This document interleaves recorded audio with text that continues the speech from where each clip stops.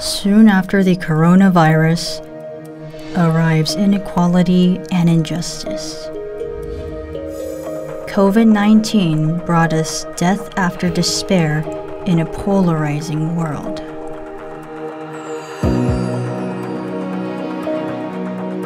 Korea, the most divided country in the world.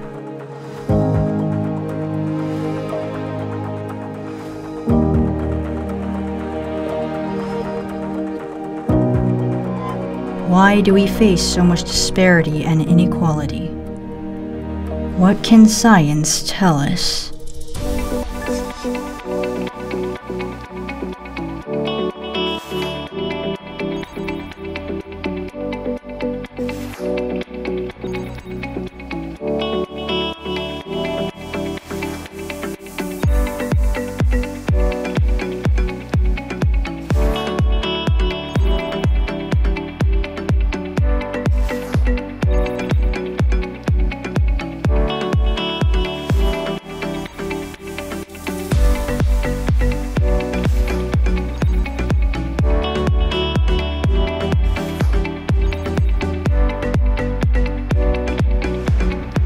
Science of Inequality and Injustice with KAIST GSI.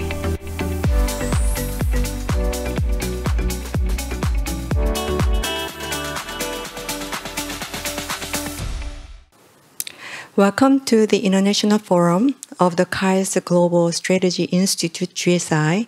I am Soyoung Kim, Director of the Korea Policy Center for the Fourth Industrial Revolution here at KAIST. I'm moderating uh, the, the forum today.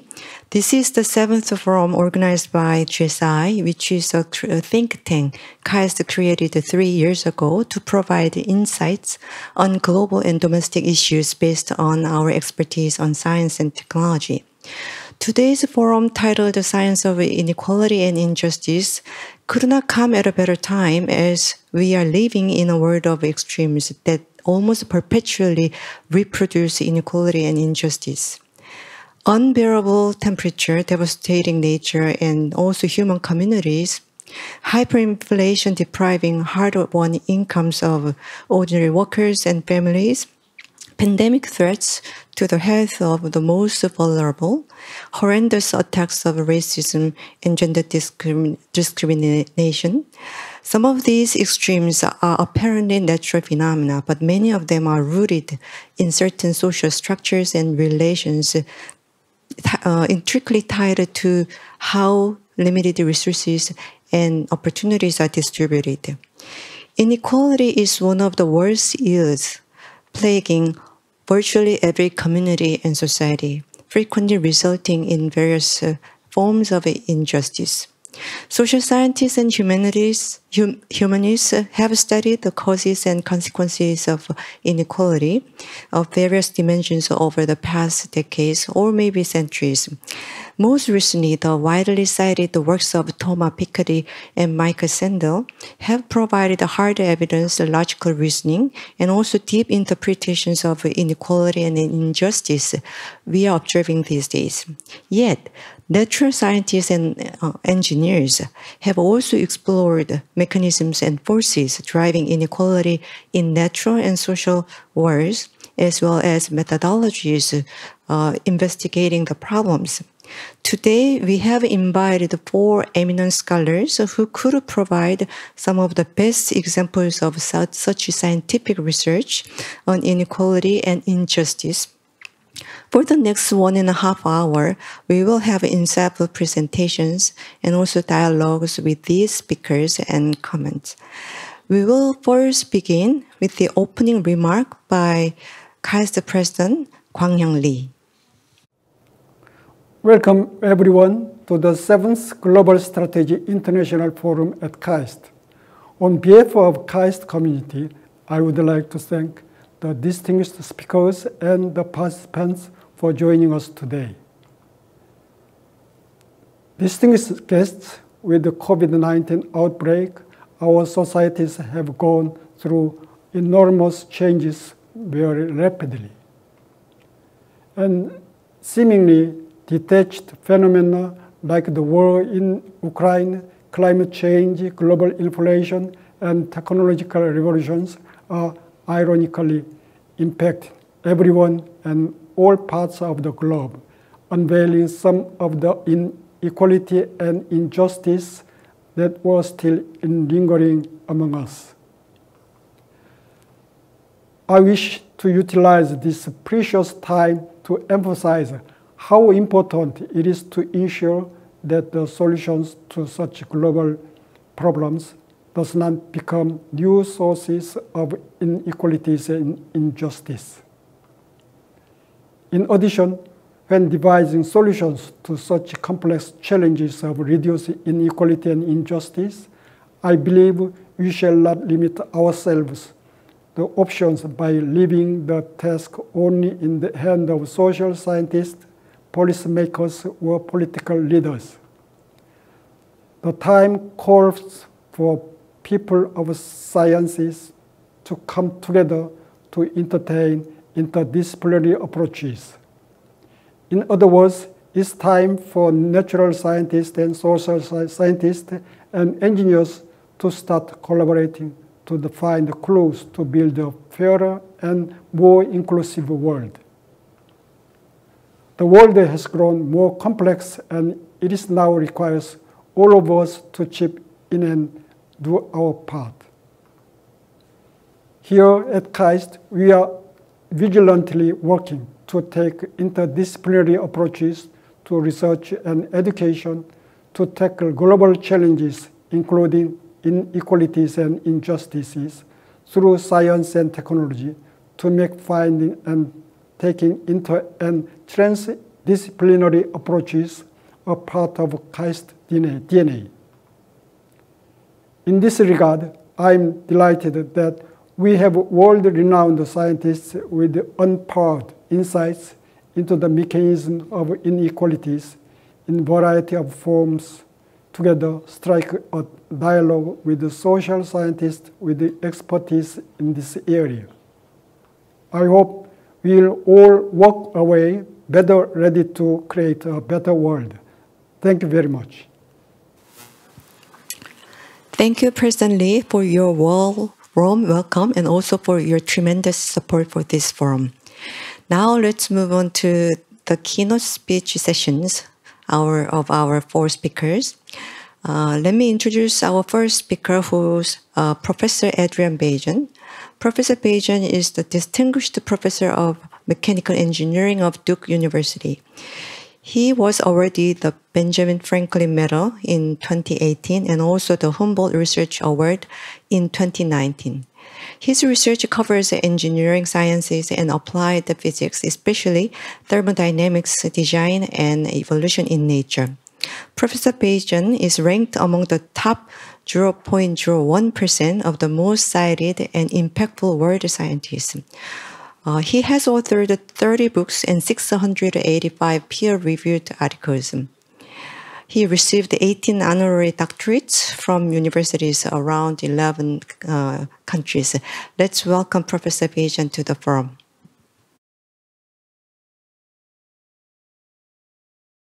Inequality and injustice are two very different concepts. They seem to go together because they also go together with envy. Inequality means difference in size, amount, rank, quality, social position, wealth, and uh, power to push a cart. Injustice, on the other hand, is lack of justice, which means lack of impartiality, fairness, the quality of being right and correct. Inequality is physics, which means nature. It is impossible to efface because freedom is nature. See the inequality in the streams of a river delta and in those of a human lung. They came from incessant freedom to morph. Injustice, like envy, beauty, and time, is a human feeling and belongs to the individual, the observer. An act that feels just to one person may feel unjust to the neighbor. There's a lot to say about uh, inequality and injustice, so I, re I reduced it to three main ideas. First, inequality is physics or design in nature, and it is predictable. Second, wealth inequality is physics as well. It is the same hierarchy as the hierarchies of energy consumption and human movement, which means life on Earth. Third, when perceived as unjust, inequality can be decreased on the same basis as its origin, which is physics. To predict uh, anything, including hierarchies, one needs a reliable mental viewing, an idea of how something should be, a principle, a law. In uh, our particular discussion, the principle comes from thermodynamics. Nothing moves unless it is pushed. The pushing comes from the work delivered by an engine. The engine is driven by an energy input from an energy source. And uh, the movement caused by the engine um, is uh, dissipating the work or the power by getting the environment out of the way. Everything that we perceive as movement around us fits inside this rectangular box. The air currents, the ocean currents, the animals and the vehicles, and uh, newer concepts that are at once uh, mysterious and um, invisible, such as live matter, robotics, energy materials, sustainability, and climate. The uh, engines and the brakes unite the geophysical with the biological and with the social organization. All these images, all these configurations are evolving as they flow. The uh, principle that summarizes these uh, innumerable observations is the constructal law of design evolution in nature. Or for a flow system to persist in time, which means to live in thermodynamics, it must evolve with freedom such that it provides greater flow access. Uh, here I have a uh, three uh, screen uh, uh, movie of, of the evolution of a river basin. Um, the tape runs from left to right, and that is the time arrow of evolution in nature. Now we have the physics of evolution, which means change after change with a perceptible direction. Now, uh, one of the architectures uh, that uh, is predictable from this uh, principle uh, is the hierarchy. Hierarchies are everywhere, and that is why they go unnoticed. One is the hierarchy of human flow in the city. You see it right here. Um, the population converges in a river basin fashion from the area to one point, for example, a basketball arena, and then uh, two hours later, the same population spreads on the area as a river delta. Um, on a larger scale, uh, what was the grid of the city is the grid of the air routes over Europe. However, the flow of humanity through this uh, uh, seemingly lifeless grid is hierarchical. River basins on top of river deltas. Uh, at the larger scale, which is the globe, is the same phenomenon. We have it uh, here in colors representing the uh, condensation trails left behind all flying aircraft. The world is a vascular flow, which means hierarchical or dendritic. And this drawing shows that uh, the hierarchy in movement is synonymous with a hierarchy in the distribution of fuel used on the globe. And uh, now the um, discovery made in the uh, lower um, left uh, graph uh, is that the energy used annually by a country or group of countries is proportional to the reported wealth of that country, the GDP or gross domestic product. Uh, the graph on the right shows the same data on a per capita basis. All the living groups align themselves on the diagonal. So what was the hierarchy in movement and fuel used is the same as the hierarchy in the distribution of wealth on the globe.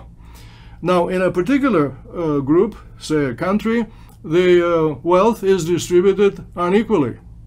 Here I have um, data from uh, six uh, countries, and the distribution is more unequal in bigger countries and less advanced countries. And here, here is why, why this should be expected. Inequality happens even in the limit when the natural hierarchical flow is destroyed and replaced with a one size design everywhere, as during communism. To see why, consider the flows on these uniform grids of channels, because designs more egalitarian than these do not exist. The square territory is inhabited by identical elements, which are connected by identical one-size channels. Each element receives the same flow input as its neighbor. The flows from the elements are discharged as one stream to one point on the map. So, geography matters. The equals who are positioned close to the point are the beneficiaries. And now you see the physics of the birth of oligarchy in post-communist Russia. The spreading of innovation events over the populated territory is a way to control inequality. Innovation happens when one individual seizes the opportunity to open the flow channel that he or she controls. This is analogous to opening a valve or flipping a switch for the first time. The local design change attracts more flow into the liberated channel. More flow means that the innovator becomes wealthier. And also, the flow or wealth is increased over the entire territory the entire population becomes wealthier because of a single innovation. The distribution of wealth becomes more equal than in the absence of innovation. The power of innovation on controlling inequality is an argument for teaching and spreading freedom, education, science, technology, and the audacity to question, to take risks, and to be unafraid. New ideas and artifacts spread the flow to distant patches of the territory that are not flowing and not known for generating innovation. Inventions and creative thought tend to occur more in places where they have occurred many times before. This is how the advanced countries, societies, and territories rose above others. They rose naturally because of freedom and because freedom is nature. To read more, I recommend my most recent books. Thank you, Professor Bejan. Uh, although we're going to have very um, extensive comment later, but I find actually two interesting uh, observations here as a social scientist. Uh, inequality, like other concepts uh, such as hier hierarchy and freedom, actually uh, are the concepts describing uh, natural phenomena. But then uh, it's interesting to see some parallels of uh, inequality in natural and social phenomena like size, uh, distributions of wealth across individuals and um, regions and countries, and especially the last message about innovation, the impact of innovation on the reduction of inequality uh, carries a lot of meanings to us. Thank you again. Uh, and our next speaker is Professor Bruce Boghosian, or Boghosian, and former chair of uh, Department of Mathematics um, at Tufts University. He also has a secondary appointment in the Department of Computer Science too.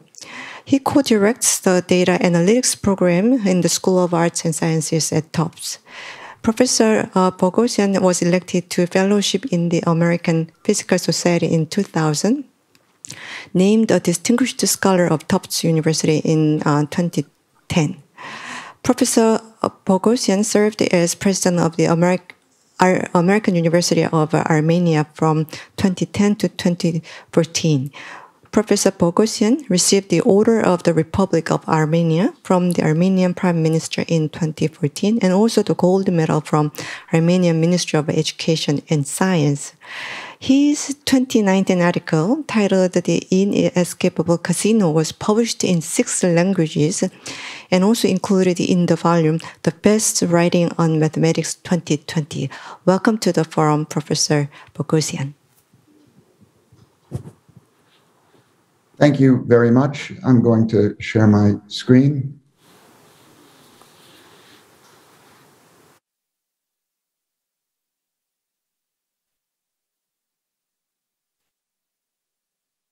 Is that visible? Yes, yes. Thank you very much. Uh, I'd like to thank the organizers for the kind invitation to present this research. Uh, the focus of my group's research at Tufts University really hinges on three questions. Uh, why is there wealth inequality in the world? Do wealth distributions have a natural mathematical description? What exactly is oligarchy and what are its origins? A fundamental problem of economics is that of the allocation of limited resources. For example, a village harvests some amount of wheat, and how do we decide how many bushels of wheat go to each household in the village? Prior to the 1700s or thereabouts, these kinds of decisions were made by feudal landlords. Now, as long as the landlords were benevolent, the system worked, but there were two problems. I'll say at least two problems. First, not all landlords were benevolent. And second, as the Industrial Revolution made it possible to generate great wealth on a small plot of land, the feudal system came to be regarded as inefficient at best and tyrannical at worst. And so people, and especially the landed gentry who had those plots of land, looked for decentralized free markets where they could trade with each other directly without the intervention of a feudal landlord. Now, a general rule is that whenever the financial incentive is there, a supporting ideology will not be far behind. And in 1776, the Scottish economist Adam Smith posited that free markets of trading agents, each one seeking to maximize their own benefit with prices set by supply and demand, could solve the resource allocation problem without the intervention of a feudal landlord. And so we were encouraged to believe this could create a stable economy in which the solution to the resource allocation problem was obtained naturally, as though guided, in Smith's words, by an invisible hand. But was Smith correct about this? Are free markets naturally stable? Modern neoclassical microeconomic theory teaches us that the answer is yes, but it's yes under certain assumptions about the buyers and the sellers. The buyers and the sellers must act deterministically. They're not subject to unpredictable exogenous shocks. They act rationally. They try to maximize their own benefit, or what economists would call utility. They do not make mistakes. They possess symmetric information about what's being bought and sold. They set prices by an auction process. There is always a buyer for every seller. There is insurance that can be bought for any eventuality. These conditions are baked into neoclassical theory, but are they satisfied in real life? It's very telling that so called heterodox economic theories, such as behavioral economics, for example, typically begin by questioning one or more of these assumptions. But I'm going to take a more intuitive approach here and uh, appeal to uh, a game similar to other games that, that many of us have played, a board game.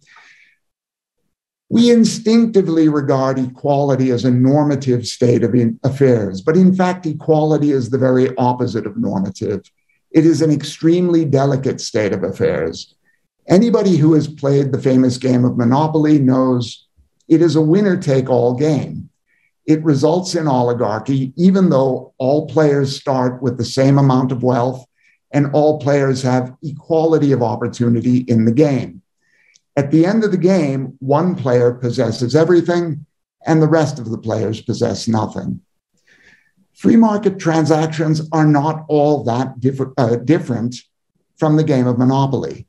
So, why should we find it so strange that wealth tends to concentrate without limit in free market economies. Now, monopoly games involve very few people, typically sitting around a board. In large populations, a different phenomenon can arise. In large populations, it becomes possible for an almost vanishingly small fraction of people to, in effect, run away with a substantial fraction of societal wealth.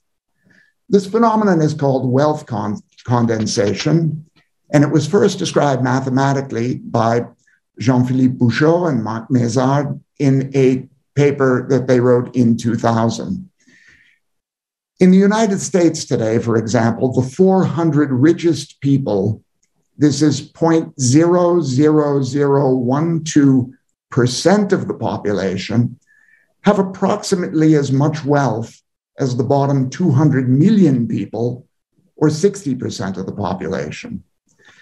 This situation is called a partial oligarchy. Those running away with the wealth aren't running away with all of it, but they're running away with a substantial fraction of societal wealth. So, a question we can ask is Are real markets naturally stable, naturally oligarchic, or somewhere in the middle, naturally partially oligarchic? Our group has studied a variety of stochastic transaction models, similar, similar in spirit to the game of Monopoly, just appropriately mathematicized. These models consist of idealized agents transacting with one another according to simple mathematical rules and exchanging wealth in the process. In the absence of wealth redistribution, such models may result in oligarchy, even if they are fair like the game of Monopoly. When wealth redistribution is included, these models can exhibit more phenomenon. They can also explain empirical wealth distributions with unprecedented accuracy, including the phenomenon of partial oligarchy.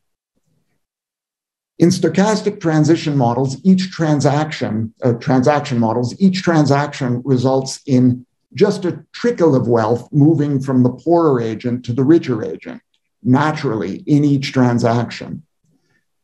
Multiplied, however, by the enormous number of transactions taking place in the world today, this trickle can become a torrent. So even if Adam Smith's thinking were just a little bit erroneous, even if transactions were just a little bit inequality inducing, with the advent of globalization and automated trading over the last three decades, this could amplify his mistake and create the enormous runaway inequality that we see today. The collapse, so we could ask the question now does free market economics lead to stability or instability?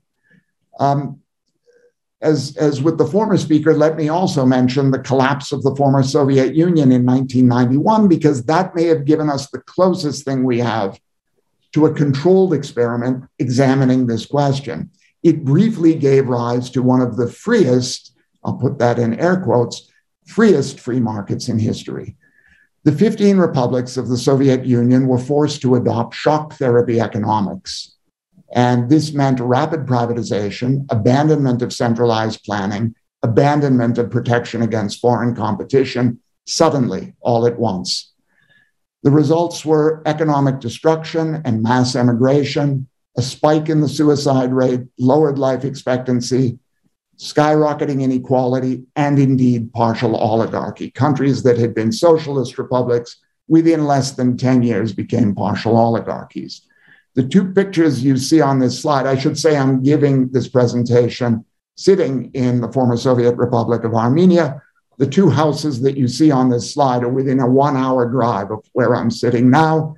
And most of the rest of the countries of the former Soviet Union uh, and, and Eastern Europe have uh, similar things to show.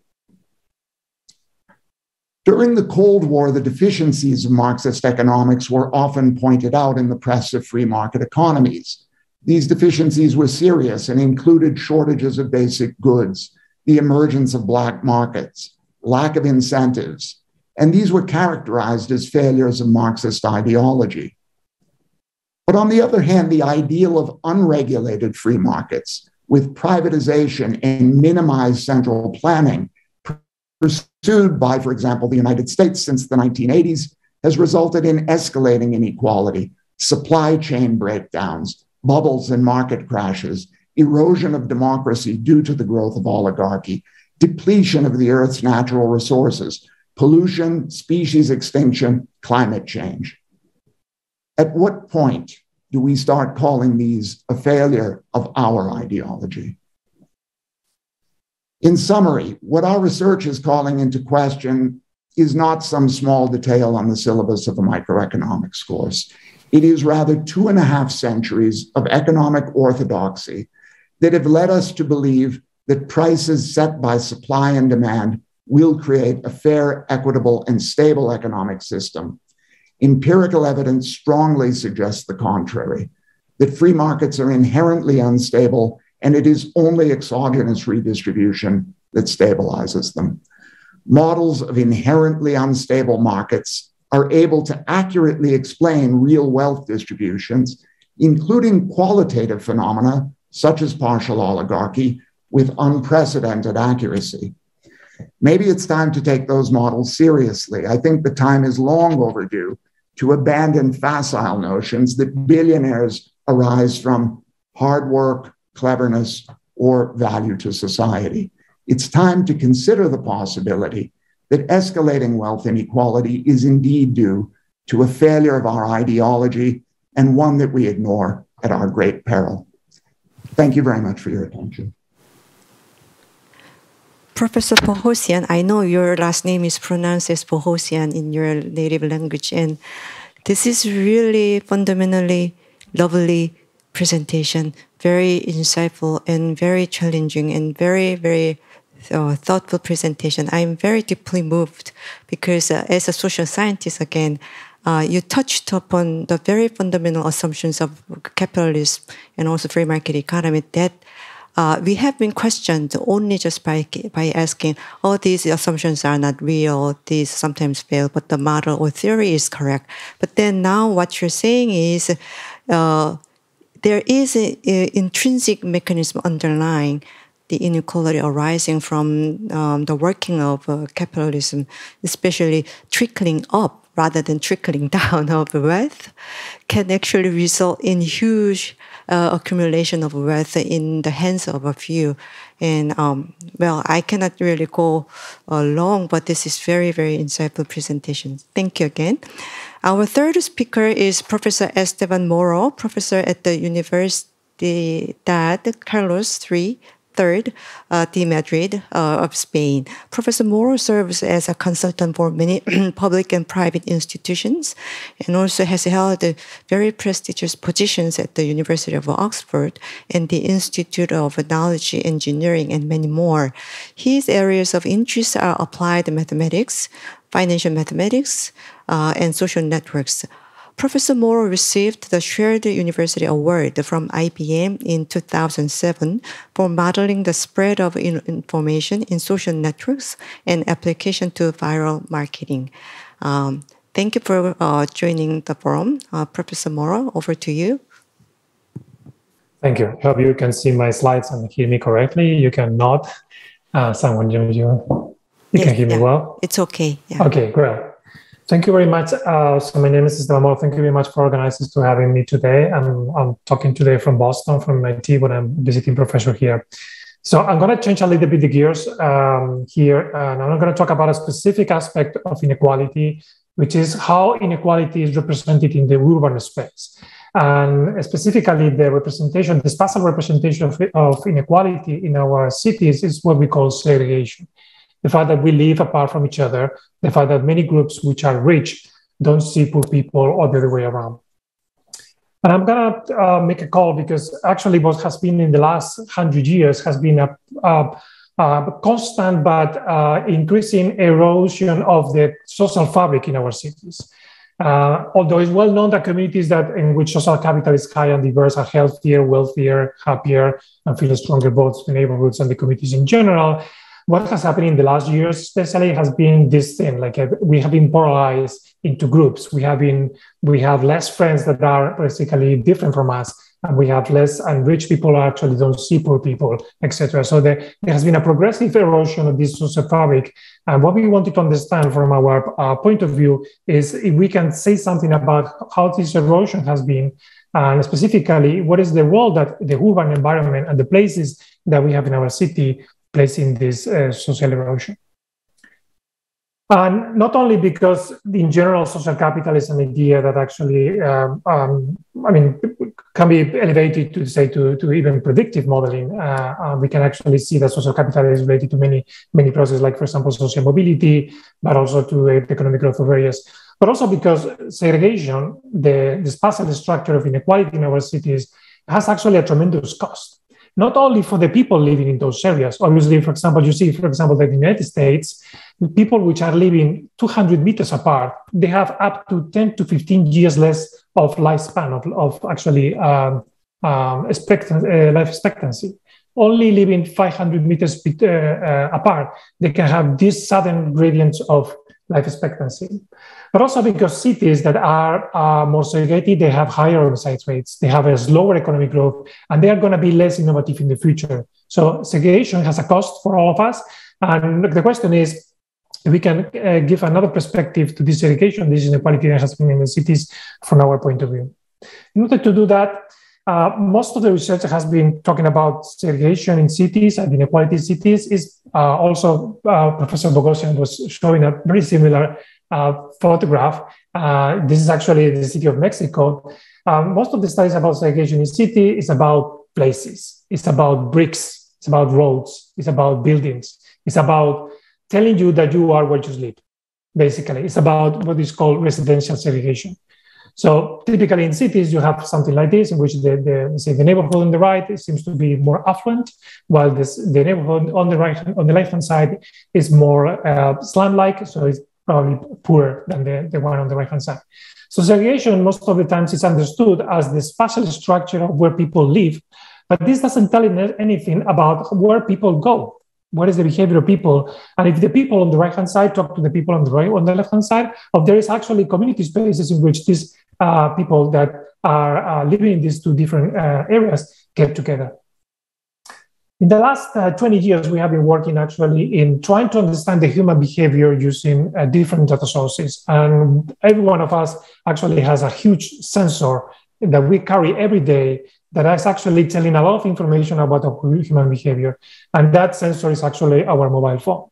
There are many, many data sets that you can extract from the mobile phone, and we have been actually using all of them to understand problems like resilience after natural disasters. We have been looking, for example, in the social structure of uh, places like, for example, in Europe, in the in South Africa, etc. Um, understanding, for example, refugees, I mean, how they integrate in societies. Today, I'm going to talk about segregation, but we have been doing a lot of work using this, mo- this mobility, this mobile phone data to understand human behavior. There are many data sets that you can get and the many sensors that you have in your mobile phone. For example, in the last COVID, in the last pandemic, there was a lot of applications that were using your Bluetooth to, for contact tracing. But in, in the talk that I'm going to talk about today, uh, we were using data that comes from your GPS. Basically, we got access to the, the location of people and traced the movements of people throughout the day in cities. And when we did that, we found something astonishing. What we found is actually that 75% of the people that you encounter every day in the United States live more than 15 kilometers away from you. So if there is segregation in the city, if there is the, the thing that there's a limitation for us to encounter people, more diverse people in the city, it doesn't have to do, it have, probably doesn't have to do much with where we live. It has to do with where we go and actually where we work, etc. Okay. So the question still that we want to answer is that if we are segregated, if there's this inequality of the on, the on the diversity of people that we encounter every day, the question is where this is happening, and obviously why this is happening what is the behavioral root of the segregation between people. Okay, so what we did, I'm going to tell you the where and the why. So the, the first thing we did was actually to find what places serve as uh, these potential mixing places for people to encounter themselves in the city.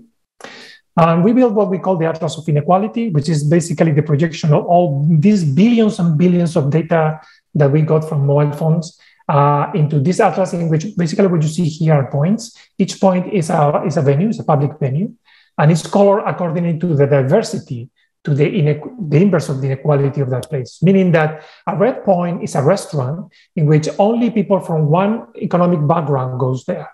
Where a blue point is a place that uh, is visited by all the economic, let's say, groups in the city. This is, uh, we did this for 11 cities in the United States, and we are actually expanding this to other countries in the world. But you can see here, here things which are expected, like for example, downtown Manhattan, this is actually New York, and downtown Manhattan, you see a lot of bluish points because there's a lot of people actually from different backgrounds that get together in restaurants, in I don't know, shops, in I don't know, art, etc. But then when you move away, and you go to the Bronx, or you go to Queens, or to Brooklyn, or even to New Jersey, you start seeing a lot more reddish points. There are two striking things that we found in this data set. The first one is that segregation in our cities happen from one side of the street to the next, to the other side. So this is actually what happens very close to where I, I work at the Media Lab. So someone, I mean, probably you know the MIT, this is Main Street. And there are two places that you can get a sandwich for $10 in each of them. One is Chipotle and the other one is Clover. And you can see that they're very different uh, patterns of visitation by different groups. So Chipotle is visited by any income, from poor to rich people, while Clover Food Lab is only visited mostly by, by rich people. So just by walking 50 meters, you can be segregated if you want. You don't have to go to the, I don't know, to the poor neighborhoods. You can be segregated by just walking 50 meters and deciding which type of sandwich you want. And actually, this is what we found. This is a very complex plot. Let me explain to you. This is a plot in which each, each uh, bubble that you see there is the average segregation of all the places in the United States that belong to a specific category. So this is, for example, this is the vertical direction. This is the average segregation of all the schools in the United States, of all the high schools, all the middle schools, elementary schools, etc. And the horizontal dimension is the distance that you have to travel to get there. Okay, so you see things here which are expected. Like for example, you have to travel 25 kilometers in the in the in a city in the United States to go to the airport, but you only have to travel less than 10 kilometers to go to the elementary school. You see here that there's a correlation between the two, right? I mean, like, uh, if, and that's expected because uh, the more unique places, like for example, an airport, there's only one of them, and it's very mixed. An airport is very mixed because everybody has to go to the airport rich people and poor people together. But even, the, even though there's a strong correlation between them, you see, still see a lot of variability. For example, if you, have, you go to work, typically in the United States, people travel around 40 kilometers to, uh, in commuting uh, every day, 20 kilometers go and back and forth. Okay, um, and this is actually the distance you see here for the for the pinkish, let's say, plots. If you work in an office, you are likely to be less segregated than you work in a factory in a warehouse. You travel the same distance, but you are likely uh, to be uh, differently segregated. So the places that you visit, the places that you have to go because of your activity, your professional career, uh, even your interest, actually are going to determine how much segregated you are in your daily life. Is that so that even the type of food, the type of food, this is the same plot, but for the type of restaurants in the United States, even the type of food segregates you differently. If you like Tex-Mex, this is the less segregated places in the United States. But if you like Spanish or Caribbean food, you're going to be much more segregated. But the way you see, see things here, which are um, for the people, we are work, also working in the nutritional part of this plot, and you see things here which are really uh, depressing from the point of view of nutrition and also inequality, is that the most caloric, the most fast food, the most uh, processed food uh, that you uh, um, take into your diet, the more segregated you're going to be. All the fast food is actually one. So the places that you go because of your activity matter a lot, and it's actually going to determine how much, how different people you see every day. But obviously, the question is again coming back to the original question: why? Why we are some people are segregated uh, and some people are not segregated, and what is the role that, for example, residents, the place that you live, plays in that experience segregation? So what we did is very simple: is we calculated the Gini coefficient by person. So instead of calculating the Gini coefficient by, I don't know, the, the inequality coefficient by city, by neighborhood, we did it by, by person, by computing the places that you go to and looking at the places that you, at the people that you see every day, we can actually compute the Gini coefficient, how unequal is the people that you see every day. So you have a, an inequality of 100% if you just see people of your own income. And you have an inequality of 0% if you see people from all incomes in the city. So this is actually, for example, could be me.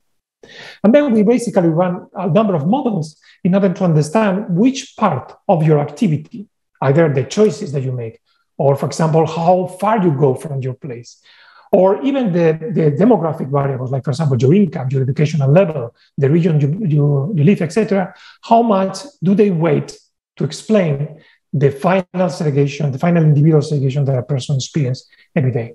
And what we found is actually that choices, the places that you visit, your lifestyle accounts for 45% of the variability in the segregation that we observe. And income, only 10% and actually education is only 7%. So that means that most of our segregation, the experience segregation that we feel every day, and the fact that we, we don't encounter people from other, other places is encoded into our lifestyle. It's not encoded into the place that we live. So how again can we create more, more resilient societies? So this is a very complex process because inequality and the spatial manifestation of inequality in our cities, which is segregation, is, is depends on the urban environment because urban environment determines the, the human behavior, and the human behavior determines social connection, and that also implies or uh, gives or yields to different societal outcomes. This is traditionally how this process has been thought, and there has been many, many research about finding the impact of urban environment in, for example, inequality, finding the, the impact of behavior in social connection, etc. But the problem is that we live in a complex world, and as uh, Christopher Alexander said, the city is not a tree. So what happens actually is that there are many connections between these boxes. So what we are trying to do in our group is actually to isolate, to try to find new ways to look at these um, these links between these uh, these boxes. By the way, um, um, I have bad news because we have been looking at in the last three years how this inequality has evolved in our cities, how this segregation has evolved in our cities. There has been never a most segregated time in our world that March 2020 because everybody was staying at home we were the most segregated in March 2020 as we have been ever in our cities in the last 100 years. And unfortunately, because people are coming back to uh, their activities, we see a lot of activity and we see the markets actually, uh, well, apart from inflation, etc. But still, we are 15% more segregated than we were before the pandemic. And the reason you can imagine is because we're working from home. We are not going to food restaurants because we have delivery. People are not going shopping. So the pandemic has actually has created a permanent effect in our in the social fabric of our societies, which we are trying to find. Uh, we are trying to find the reasons uh, of the, the best policies that we can we can implement to fight this uh, segregation in our cities. Thank you very much. And I'm, well, I'm hoping I, I convince you that we have to look differently at this problem, and I'm opening for questions. Thank you, Professor Moro. This is very exciting uh, project. I have actually taken a look at uh, your project, and it was a little bit hard to understand initially. But in terms of graphics and also the models, uh, they look very um, intuitive, especially using these high res resolution data to reveal segregation patterns, especially on the dimension of behavior. Uh, that's very new approach, I guess, because uh, political scientists and sociologists have been studying racial segregation for a long time uh, in terms of residential segregation or income uh, differences, but this is very unique uh, uh, in that sense. Okay, the last speaker uh, is Professor Stefanie Stantcheva from Harvard University. she is Nathaniel Ropes Professor of Political Economy and the founder of the Social Economics Lab. Uh, Professor Stantcheva is a member of the French Council of Economic Analysis, and her work has centered around the long-lasting effects of tax policy on innovation, education, and wealth. In 2018, The Economist selected Professor Stantcheva as one of the eight best young economists of the decade. Uh, she was also awarded the Elaine Bennett Research Prize in 2020.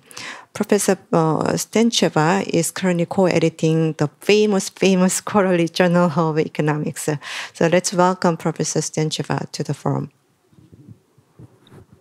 Great. Thank you so much for having me. Thank you to the organizers um, and thanks to the speakers. It was really fascinating talks. Um, today, I wanted to tell you a little bit about the policy action you know potentially against inequality uh, and talk about um, how social economic surveys and experiments can help us determine what drives our support for redistribution Uh, so when we think about redistribution policy, um, we think of things like progressive taxation, social insurance, um, all these programs that can help reduce inequality. And one question that we've been asking at the Social Economics Lab is what shapes people's support or opposition for such programs? Um, inequality has been rising. We saw that in the previous three presentations. Yet policy action is not necessarily something people agree on. Um, and so what we what we use as a research tool here is social economic surveys and experiments. So what are those? These are essentially large scale, in depth surveys that try to really get into people's minds and see how they reason. Uh, they try to understand how people understand economic policies. What do they know about them? Uh, what is important to them? What do they perceive as the economic effects, as fairness concerns, etc. And what is different here from previous surveys? Of course, surveys have been around for a very long time, and traditionally they've been used uh, to measure things that today are potentially much better measured uh, in, in big data or in administrative data. Uh, Professor Moro's research was a great example here. We don't necessarily need to ask people today in surveys, where do you go, where do you buy your food, etc. This can be seen in many other data sets. Yet there are things that we still cannot see in such amazing big data. And those are things like perceptions, attitudes, knowledge, your views, etc. And so this is where these socioeconomic surveys come in to really try to dig into those things. So I wanted to give you a little sort of mental model um, of how we think about redistribution policy before I dive into some specific results. So if you think from a very, um, very high level perspective, if you think about a policy like progressive taxes and think, should I support this policy or not?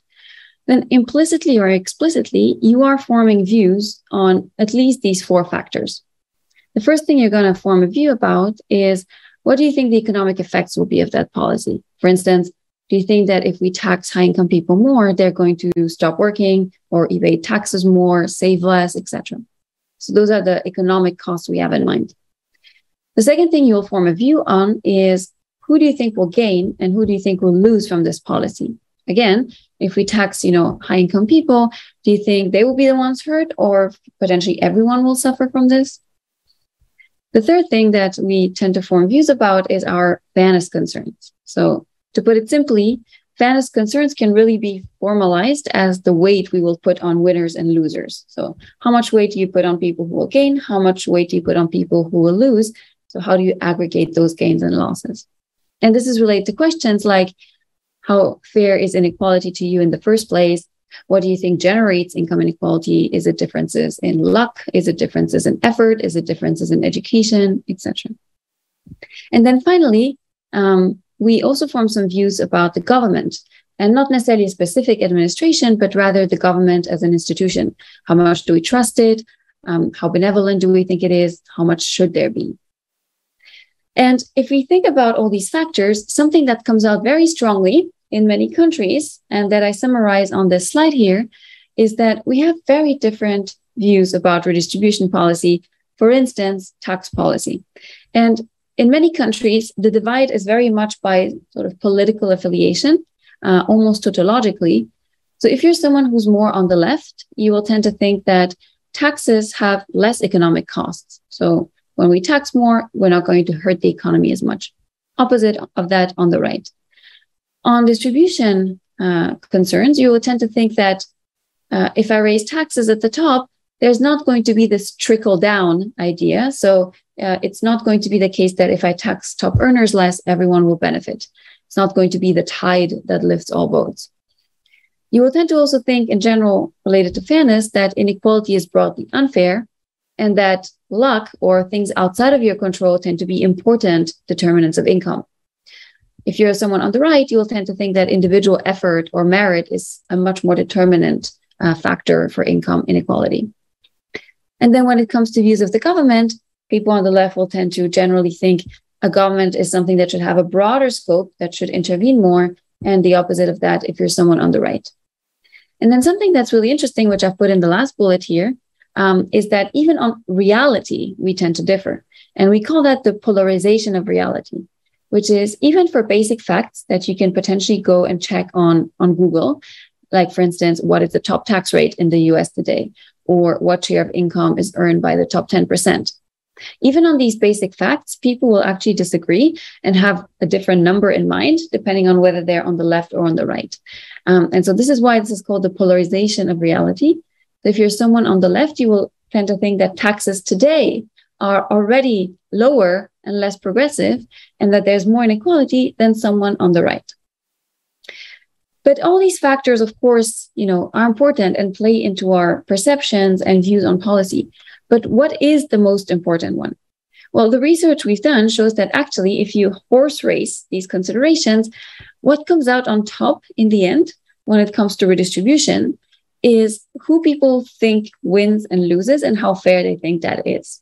So, those are really the key factors that will swamp all other considerations. So, yes, people disagree on what are the economic costs of various redistribution policies, but that's not the major determinant of their final support. Someone can think, for instance, that progressive taxation will have high economic costs, yet still want to do it because they think that inequality is very unfair. And so, really, the key driver of our policy views is what we think is fair and who we think gains and loses. But the complication, of course, is that fairness is a is a vague notion and is something that's very much in the eye of the beholder. So it means different things to different people.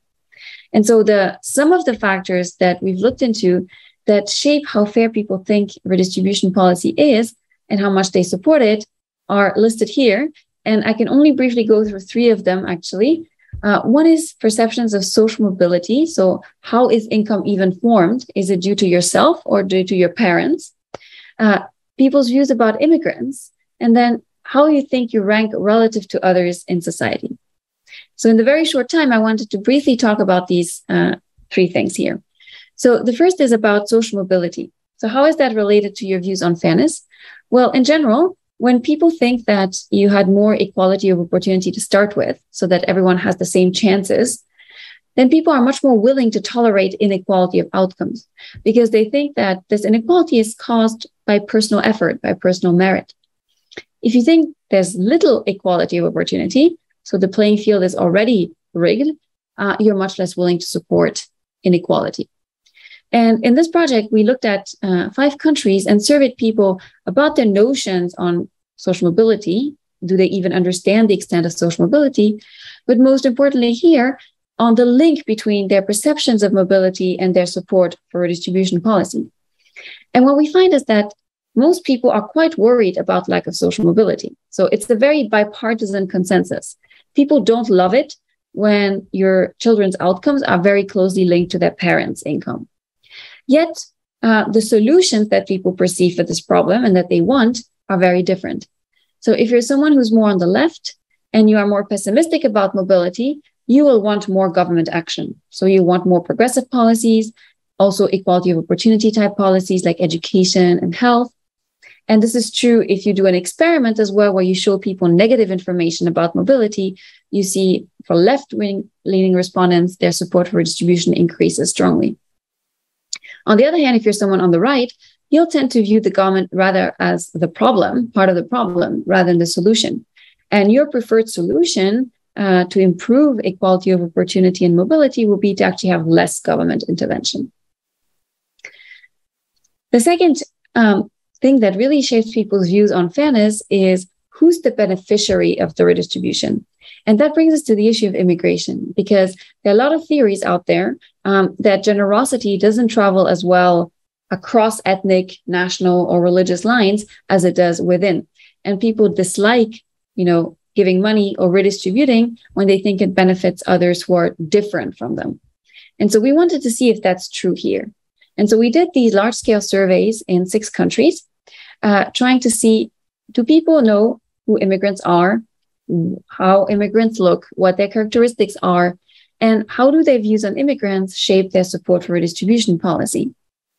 So, very briefly, what we find, first of all, is that there's extremely stark misperceptions about immigrants across all these countries.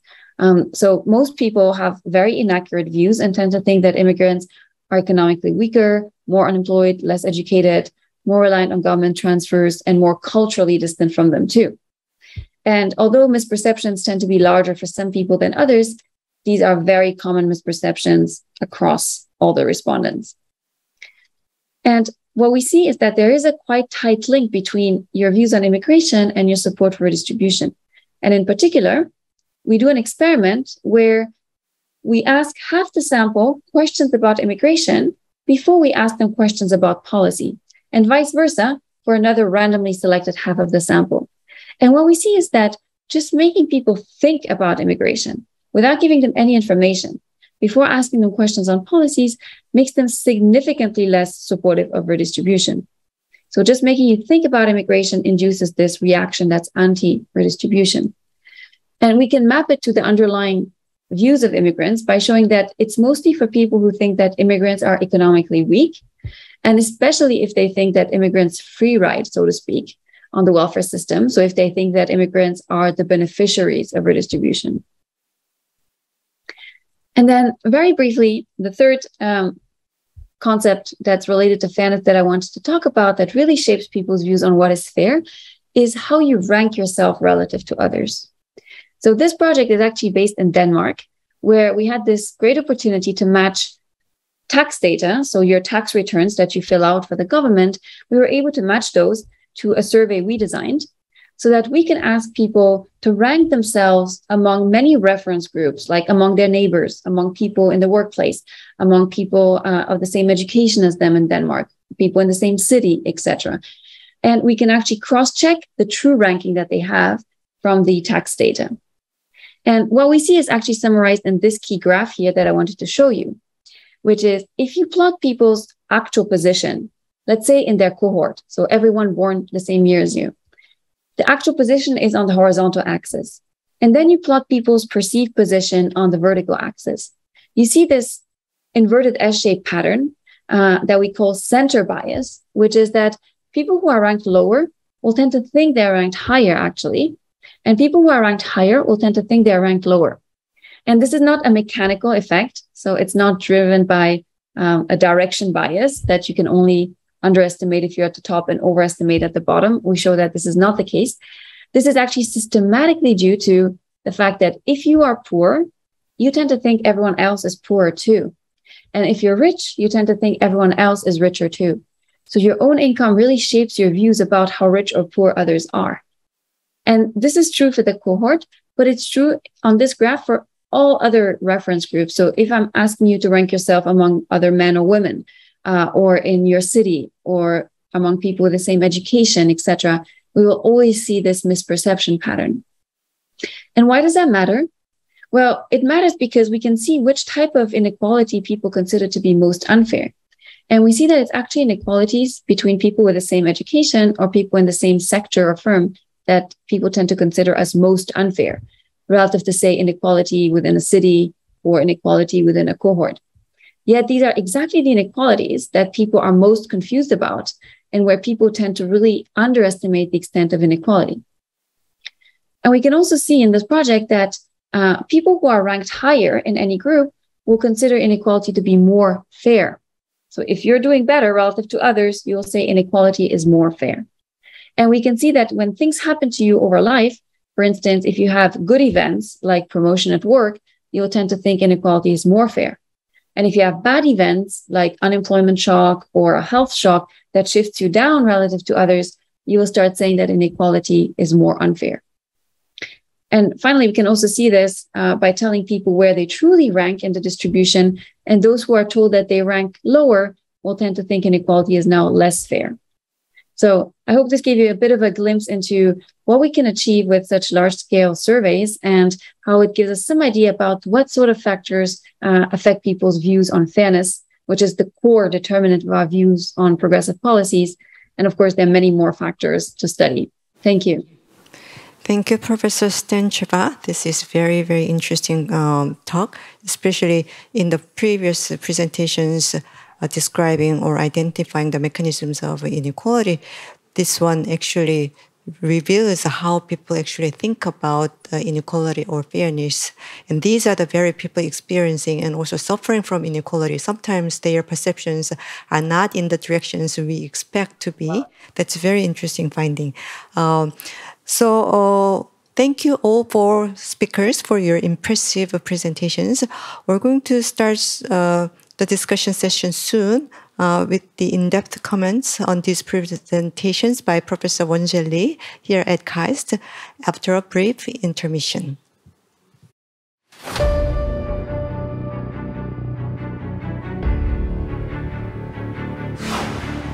Conflict.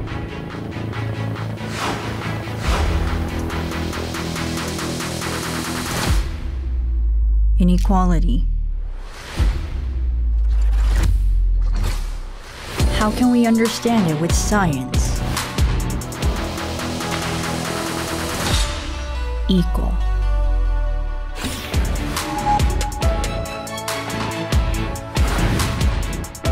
All flows of the world follow the same system.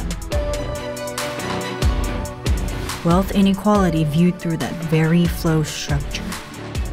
Exceedingly natural and mundane heterogeneity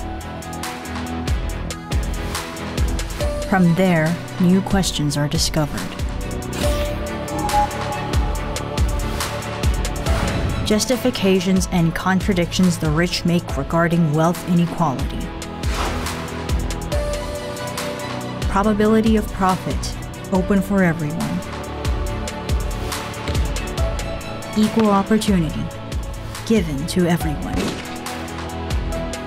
Then where do inequality and injustice come from? Your experiences with injustice, your experiences with locations. Are they really unrelated? Read on place inequality with a new map.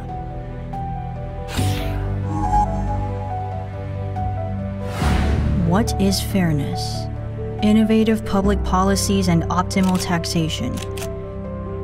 Examining public perceptions and attitudes to reduce inequality eyeing equality and justice with science.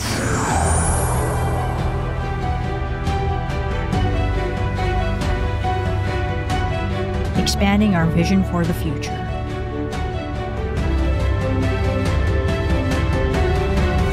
KAIST GSI International Forum. Welcome back. Uh, we're going to start the discussion session uh, by the comments uh, of Professor Won-jae Lee. Professor Lee is a social scientist like myself here at KAIST who contributed an interdisciplinary research article to PNAS, uh, Proceedings of the National Academies of Science, for the first time in South Korea as a sociologist. And as a colleague, I am very proud, of course, and also I view him as one of the best social scientists at KAIST who are willing and also able to collaborate with engineers and scientists. So I think she is the best person to comment on the presentations today. Okay, Professor Lee. Thanks for having me in this wonderful forum. Uh, I'm Won-jae Lee, a sociologist in this science and engineering school. I'm very excited to have a chance to talk with the inequality scholars from natural engineering science and economics which I could hardly interact with as a professional sociologist. However, it is not strange we are engaging in the same topic today. The name of sociology in her childhood was social physics. One of the first masterpieces of American sociology, written by a Harvard sociologist, was meant to be read by Harvard economists in the early 20th century. Today, I'd like to present three questions in response to the four wonderful speeches. First, state of nature. Let me start with Professor Bejan's proposition that inequality is a physics, impossible to efface, injustice is human perception and belongs to the individual, the observer. It reminds me of Jean-Jacques Rousseau's distinction between physical and moral inequality. It means inequality resides in two confronting domains, which are nature and human. Rousseau and Professor Bejan are on the same page because at this point they are indeed defining a state of nature. It is actually provoking social scientists like me. I got the same feelings when I came to read Barabasi's scale-free network paper 20 years ago, where the state of nature was an extremely unequal distribution of everything, including human networks. For me, it sounds like any artificial, political, and institutional response to the physical inequality would ultimately be unnatural. The chi, Gera, and Kappa in Professor Boghosian's elegant model of gambler's fallacy also have a same implication. Depending on his findings, what if we formulate a law calibrating the three parameters so wealth can trickle down? Would it ultimately be natural or unnatural? It is related to my second point, attraction versus repulsion. In Professor Moro's uh, confound-free network analysis, which is extremely hard to achieve, congratulations, the network is indeed a matrix of job-skill similarity. The thing is that uh, probably the most typical example of a resilient job network would be found in old rural area rather than in large cities. In countryside, jobs are homogeneous and tightly knit. Communities as such are conservative and resilient to environmental changes. Then the question is how diversity in large cities comes along with the large-scale integration.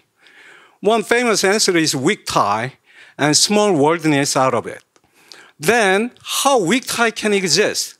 Weak tie is revolving around a certain type of social relationship, which is repulsive rather than attractive.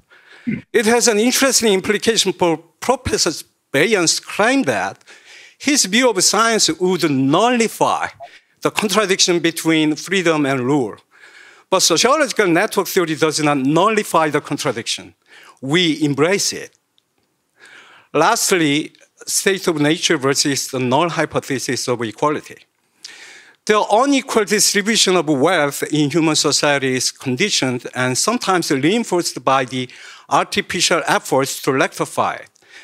The misperception of public policy, Professor Stantcheva convincingly analyzed, could be one of the reasons. I think the misperception also springs from the too much dependence on the idea of the state of nature by definition, it can never be overcome. To understand how unequal we are, what we need is not the unshakable state of nature, but the null hypothesis of desired and attainable degree of equality. The Thomas Piketty's description of contemporary inequality is surprisingly ahistorical, I think. The level of 21st century inequality reaches that of early 20th century London, but the lowest class in UK at the time were living in a, a way better life than their grandfathers before industrialization. Inequality in modern times is correlated with the economic growth by which inhumane poverty disappeared. Historically speaking, the public policy for leveling up the average wealth has been a better conceived and effective way of addressing the issue of economic justice. Thank you. Thank you, Professor Lee. As expected, he gave very, very uh, insightful uh, comments, and some of them are very theoretical. So I guess our speakers uh, have much to respond to his uh, comments. And because of the time, I'd like to add my own questions so that each uh, speaker can actually respond to Professor Lee's comments and also my own uh, questions. Uh, so I have actually two questions. Uh, the first one, uh, while inequality is quite pervasive in natural and social science worlds, and also extreme inequality in some sense is inescapable in a free market economy, how or what can policymakers and ordinary citizens like us in the real world uh, hope for, and how underlying understanding these underlying mechanisms of uh, inequalities can help us better the situation. And also with those interesting uh, socioeconomic uh, matters um, also captured through, I mean, I mean, socioeconomic inequalities captured through much more sophisticated data and models, and also sifted through fundamental perception gaps on redistributive policies. I wonder whether there are any specific examples uh, of or recommendations for giant steps or even granular changes to make on existing uh, institutions or policies because I'm essentially a public, public policy scholar. So I'd like to ask each uh, speaker in the order of presentation give some responses to uh, the comments by Professor Lee and also some questions I raised. Professor Bejan? Yes, um, first, uh, I didn't have a chance to thank you very much for inviting me, and especially for reading my book, Freedom and Evolution. That's, uh, I think, the reason why I was invited. So I really appreciate this. I'm a former uh, presenter at KAIST, so I'm uh, uh, a friend of your institution. Uh, now, I'll begin with a, with a brief correction to what you just said. inequality is not a feature of the free market uh, it is a feature of any society, including communism. Uh, I'm not sure if, whether or if any of you have lived under communism, to grow up and to see everything going on. I did. And uh, it is from that experience, which then was followed at age 20 of uh, living in the United States, that I, I saw the physics of what I just described on that, uh, on that video. And uh, inequality is uh, a feature of communism. Uh, there was a takeover uh, of a country, in my case, Romania, by the by the Soviet army, and overnight the communist regime proclaimed equality, and then one week later there was a new hierarchy, a much steeper one, and of course you have that uh, in North Korea today in any totalitarian country. So uh, I am a, free, a, fan of the free market, and inequality is not a baby of the free market. Um, um, in your correspondence with us before this uh, discussion, you asked us to comment on this great quote from uh, from uh, Aristotle. Well, it's a great quote, and it has morphed into a few other great quotes um, from uh, from Cervantes. Uh, here's Don Quixote saying this to Sancho Bear in mind, Sancho, that one man is not more than another unless he does more than the other. That's, uh, that's uh, uh, one, uh, one answer to all of us. Um, a few uh, centuries after that, we have the Declaration of Independence of the United States, uh, which second paragraph begins with withhold these truths to be self-evident that all men are created equal, that they are endowed by their creator with certain unalienable rights, that among these are life, liberty, and the pursuit of happiness. Um, these are uh, words that I addressed in my uh, nine minute video, and uh, they have to do with the individual who, uh, in fact, uh, acts in his own interest in, in life. So, uh, but the bottom line of these quotes is that the, the origin of hierarchy, uh, which is natural, as I showed, the origin of hierarchy lies in equal access and freedom. In other words, the beginning is equal access, and then the rest of the life of the individual um, is uh, un- unwittingly for the individual imbibed an infinite freedom to make to make choices. And now, finally, uh, the uh, I correct the credit was given to the uh, uh economic development, which uh, enriched everybody. Well, uh, the in, from my point of view, the reason for that economic development was the unstoppable arrival of new ideas. Um, the invention of steam power in Great Britain made uh, Boulton and Watt rich, and the whole world, beginning with the British Empire, the richest. The invention and distribution of electric power uh, was the similar event due to Tesla and Westinghouse. Uh, the awakening of to economic activity in hot and humid tropical and equatorial areas uh, which was thanks to inve- the invention of air conditioning by Willis Carrier in 1902. And, uh, and of course, we have the never ending inventions in communications, all the way from moving type to to uh, the iPhone and the internet, you know, you know that the particular aspect of the present. So this is why now coming to uh, what to do about inequality, I repeat the punchline of my video, which is um, uh, teach teach your children and your students to uh, ask uh, questions and to be unafraid and to um, defend their original ideas. This is how uh, tomorrow will be better. And um, I'll stop here.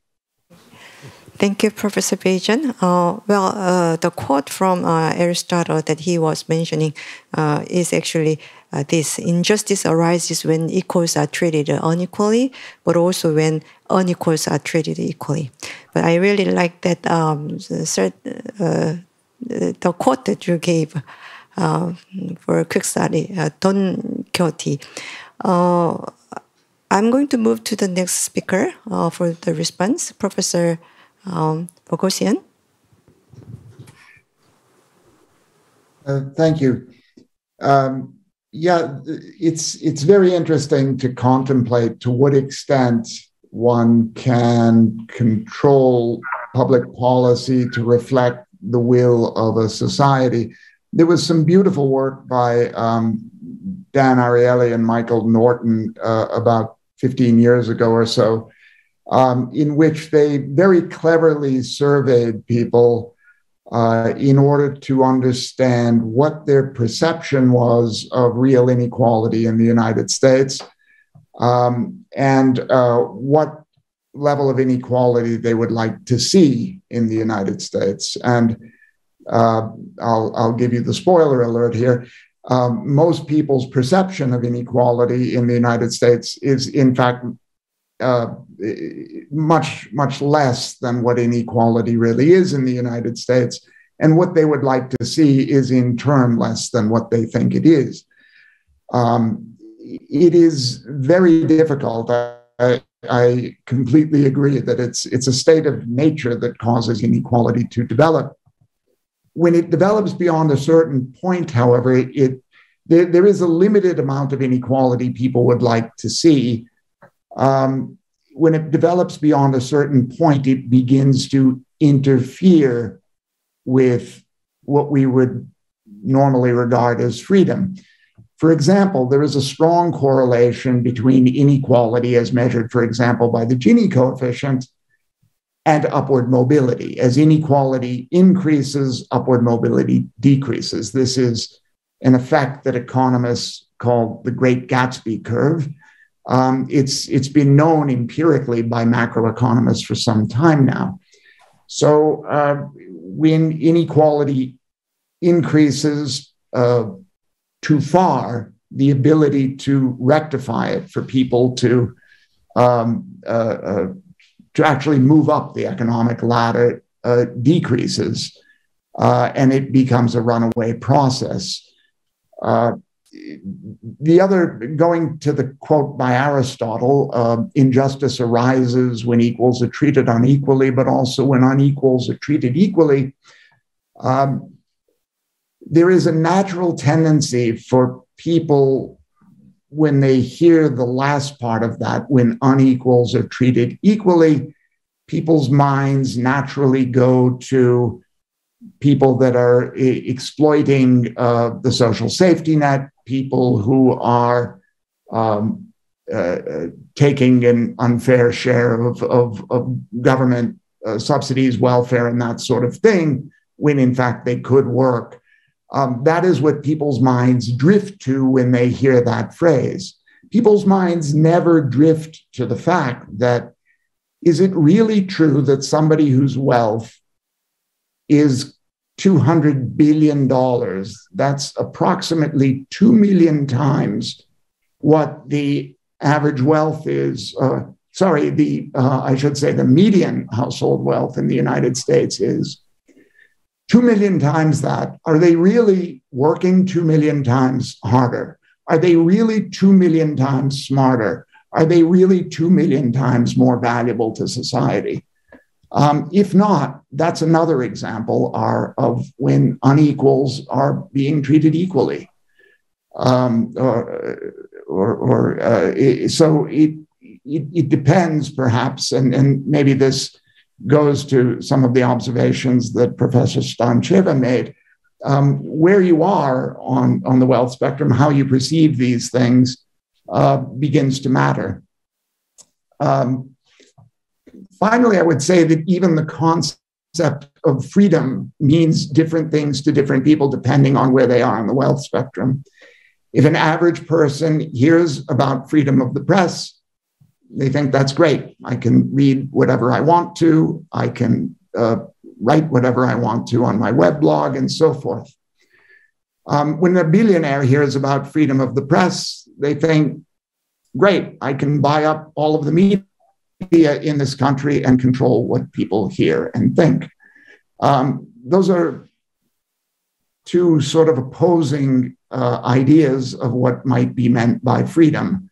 And uh, i think I'll leave it at that.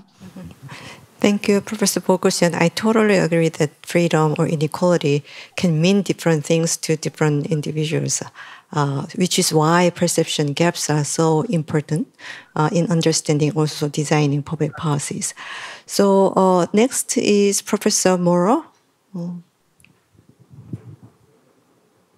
Yeah, thank you. Um, I'm going to come back to Professor Won-jae uh, um, question about the the role of uh, um, of the networked society. So most of the processes that are happening in society are happening in the network of relationships and the access that we have to these weak links. I mean, these opportunities. Uh, the famous Granovetter hypothesis that most of the economic opportunities come through weak links, uh, people that are not our, let's say, family or our strong ties. Um, so this is actually uh, and, our research is actually showing that different people have access to different, let's say, links and the different ties in, in the city. Uh, one important thing that we have found in, the, in our research is that even though uh, people have access to those different links, they exploit them differently, and the reason is because of education. So even if you come across an opportunity, for example, a weak link, someone that tells you a job or something like that, because they don't have enough tools, enough skills to actually uh, profit from that intervention, what we found is that even people that have the same social structure or the same access to weak links, people of less education, they actually benefit less from those weak links. So uh, we live in a network society and weak links uh, are important for all of us but I think what we probably, um, and this is actually one of the roots of inequality that we see in, in our society, is that we don't have, we don't give people the right tools to actually improve or benefit from uh, this process. And education is actually something that we can see in the last probably uh, 30 years. Uh, one of the one of the main, the core uh, consequences of that. So I agree uh, with Professor Won-jae Lee. Uh, the the network aspect of the of the inequality is very important because most of the inequality is uh, uh, runs through the network.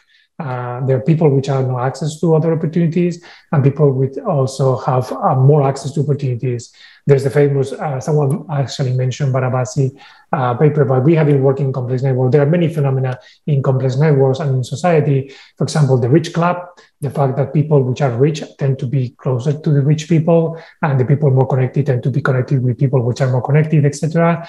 There is the famous friendship paradox. Uh, rich people are always surrounded by people which are richer than them. So you always have a friend which is richer than you, and you always have a friend which is poorer than you. Okay, and that's actually uh, something that I will leave to Stefanie because I, I, I like very much the, the, the part about perception, which is actually another important aspect of inequality is behavioral economics. I think is that how we react to policies and how we react to other people doing things around us. And one important aspect is that uh, the network is encoding a lot of these behavioral uh, um, biases of people. For example, there is the majority illusion, like the fact that you you think that you are surrounded by the majority of the society, which is not. For example, in our research, we found that the number of people that you see every every year in a city is 5,000 people. So we have this illusion that we are surrounded by the whole society, that we go everywhere, but it's not true because 75% of your time you spend it in five places. So that means that most of the people that you see is a very small, tiny village uh, and the city, and they can be very biased. So I leave it to Stefanie probably to tell us how these biases actually uh, transform the perceptions and how they, they are so important, for example, in policy making. Because most people, when you talk to them, they, they have a completely different view of, of what is surrounding you. Thank you, Professor Moro, for uh, the responses. Uh, very interesting. Uh, I have some comments, but because of time, I just moved to the last speaker for uh, her response. Yes, I'll be very brief since uh, I see we're out of time. But uh, let me just say what I think is a key challenge um, to think about inequality policies. I think it's really people's understanding of economic policies that can be improved a lot. And these are hard to understand policies. So uh, there's very little education on them, contrary to other things where we receive education on, which is very striking because these are policies that really affect our daily lives. And, uh, you know, we as citizens are asked to vote on them, to, to choose, um, to choose policies and policymakers with actually extremely little economic uh, and education on it. And so I think that is a key challenge and something that many countries can improve uh, and i think could be really beneficial for for just giving people better tools to make decisions on policies that affect their lives yeah we are just on time but before we finish uh, i'd like to ask professor lee if he has any further comments or last words yeah, uh, I wish I could have more time to talk with these wonderful speakers. Uh, it is surprising in very short time I learned a lot and it was very instructive and, and inspiring for me. Uh, let me uh, finish my uh, remarks with the, uh, the American philosopher John Searle. He made a distinction between two realities. The first one, institutional reality, so whereupon we are engaging in uh, understanding and addressing the issue of inequality and social injustice is all the politics and government and system we have developed for the last 200 years is about institutional reality. On the other hand, there is uh, some natural reality. The one interesting point he made is that he called this natural reality is brute reality. So brute reality is brute is like uh, John Rawls. It's like when he's saying the brute reality of our differences. So one lesson I got from the physicists, engineers, and network scientists at the turn of the century is that uh, the brute reality is much more uh, prevailing than I have thought as a social scientist. So, uh, so that's why I, I, think the works like the Professor Stantcheva's is, is based upon more realistic uh, assumption and understanding of human psychology and the, the way to we are understanding this world is, is becoming more pronounced in the future direction of the study of social inequality. Thank you. Thank you, Professor Lee. Next time, I definitely invite you to the keynote speech. Okay, thank you. So uh, we are almost uh, uh, done. Uh, thank you all the speakers and also the commentator, Professor Lee, for sharing your insights and knowledge on the greatest challenge of our time. We hope that the speeches and discussions uh, we had today stimulate not only further research, but also real world actions to remedy the problems that we are seeing today. Okay, now we are ready to finish the forum with a closing remark by Vice President for Planning and Budget, Professor Bo-Won Kim, who also is a professor of operational strategy and management science at the College of Business here. I take this opportunity to thank our distinguished speakers for sharing their knowledge and insights, which have helped to shed more light on the science of inequality and injustice. As a business school professor, I know the importance of trust as the backbone of global supply chain, whose disruption is recently causing the global economic as well as social pains across the world. Against this backdrop, I enjoyed the great presentations and discussions today, which made me rethink how natural and social scientists can collaborate to tackle the world's greatest challenge at this time of economic downturns. I thank our audience who has joined the forum virtually or in person. Thank you all for your active participation. My thanks also go to the organizers of this forum, Professor Son Hoon, Director of the Global Strategy Institute, and also Professor Soyoung Kim, Director of the Korea Policy Center for the Fourth Industrial Revolution, and their great teams who made great efforts over the last few months to put this event together. To echo our president, solving the major problems of inequality and injustice calls for multidisciplinary solutions. In today's unique forum, we learned from economics, physics, math, and computational science to understand the science of inequality and injustice that plague our world to this day. I hope we all leave today's forum armed with the scientific knowledge and inspired to make the world a better place through our individual and collective contributions and capacities.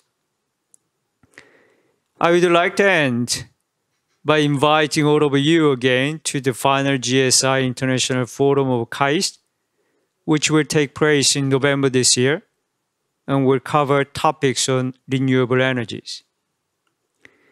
With these few remarks, the forum is officially adjourned.